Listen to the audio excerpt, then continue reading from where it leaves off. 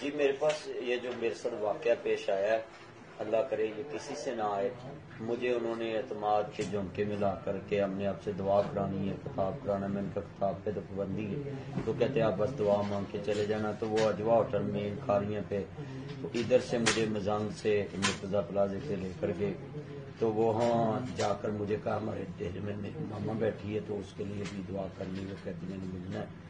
تو وہاں لے جا کر مجھے کمرے میں جو ہے نا گنے تان لی اور کہا کہ کپڑے اتارو اور کپڑے اتار کر ویڈیو بنا لی اور ساتھ مجھے تشدد شروع کر دیا اور پھر مجھے بولا موبائل دو، موبائل پکڑ لیے، میری جیب سے جو سارے سامان تھے، پیسے، گاڑی سے، سارے باکس کے، وہ بھی لے لیے اور کہا بھی اپنے چینل کا جو پاسورڈ ہو تو چینل میں بھی جو میری انکم آتی ہے وہ بائی تاریخ کو آتی ہے، وہ بھی انہوں نے سارے پاسورڈ جو اپنے پاس ریکور کر لیے۔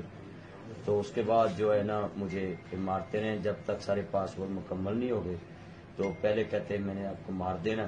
جب میں نے بولا کہ یار میرے بچے ہیں چھوٹے چھوٹے، تو کہتے ہیں اگر آپ نے اس کے بعد آپ نے کوئی ایسا ویسا کیا کام، تو اس طرح عوامی ایشو پہ باتیں کرتے ہو۔ آپ ہر ہر ٹرینڈ میں آپ کا کلیم پڑتا ہے۔ تو آئندہ جو ہے نا آپ کو لاہور میں بھی شوٹ کر سکتے ہیں۔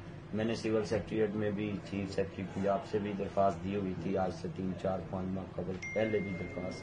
وہ ڈائری نمبر بھی مجھے یاد ہے۔ مجھے میں نے کہا سپورٹ دیں، مجھے سپورٹ نہیں دی۔ جی بالکل، جیسا کہ علامہ